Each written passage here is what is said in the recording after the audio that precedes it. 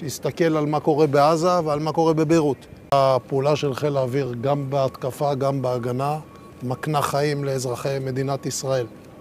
האיראנים אה, לא גירדו אפילו את היכולות של חיל האוויר. אין אף טייסת שנפגעה, אין אף מטוס שנפגע, אין אף מסלול שלא מאפשר המראה, ואין שום פגיעה ברציפות שלנו.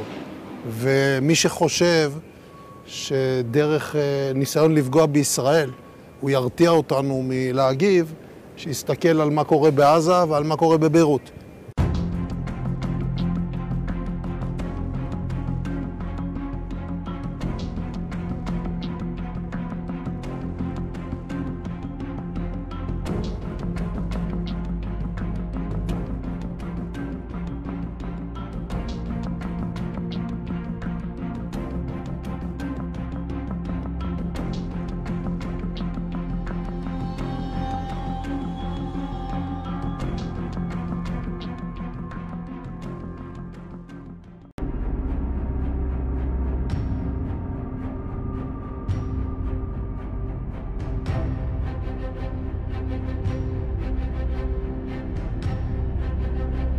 אני נמצא פה ביחד עם חיילי צה"ל בגבול הצפון.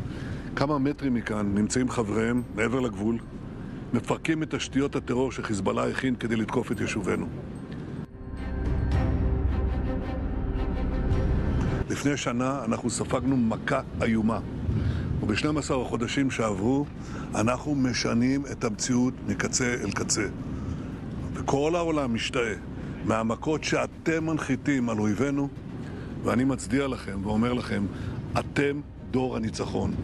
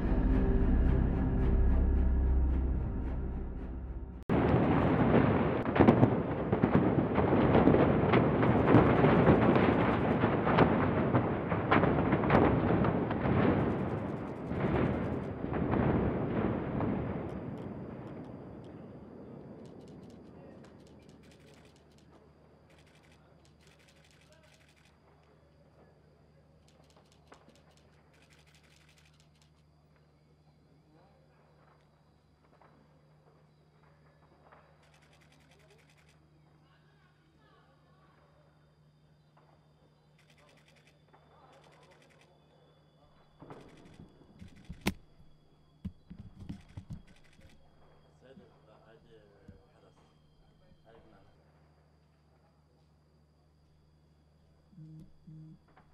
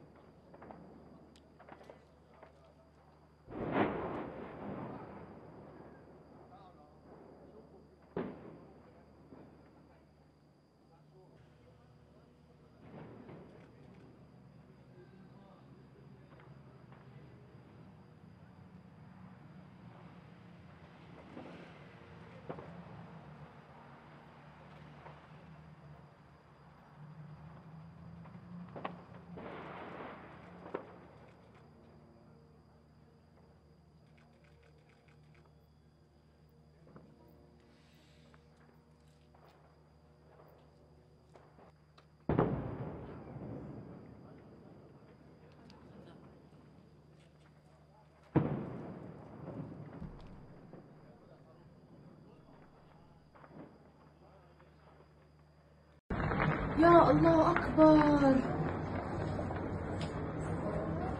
Ya.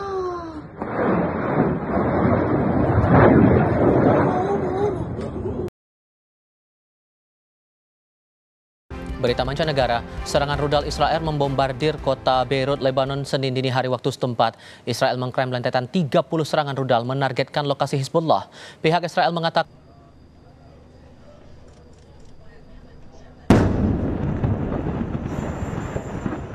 Hari ini tepat satu tahun sudah serangan brutal Israel ke jalur Gaza sejak 7 Oktober 2023 silam. Invasi Israel ke seluruh wilayah Gaza telah menewaskan lebih dari 41 ribu warga Palestina.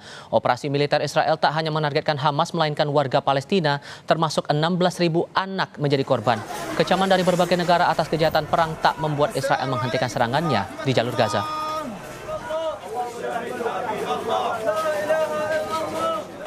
Kementerian Luar Negeri kembali mengevakuasi 20 WNI dan satu WNA dari Lebanon di tengah agresi serangan Israel. 20 warga negara Indonesia dan satu warga negara asing yang merupakan suami dari WNI tiba di Bandara Soekarno-Hatta, Tangerang, Banten pagi tadi. Para WNI ini sudah menetap 2 hingga 5 tahun di Lebanon. Mereka merupakan pelajar yang tengah menuntut ilmu di Lebanon serta pekerja migran sebagai ibu rumah tangga. Pemulangan ini memang proses yang kompleks dan cukup rumit karena kita perlu meyakinkan dan memastikan bahwa prosesnya berjalan tahap keempat sebenarnya ini gelombang kelima tapi tiba terlebih dahulu di gelombang keempat dengan jumlah ada 20 warga negara Indonesia plus satu warga negara asing dari Lebanon yang merupakan istri dari uh, WNI kita. Di antara banyak sumber informasi, kami layak dipercaya karena kami menggali lebih dalam berpihak pada kebenaran, berpegang pada data dan fakta, agar layak Anda jadikan referensi. Kompas TV, independen, terpercaya.